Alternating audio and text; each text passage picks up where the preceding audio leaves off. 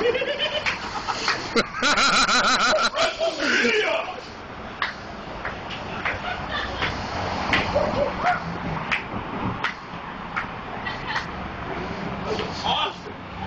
well, lucky. I was gonna fucking spear you.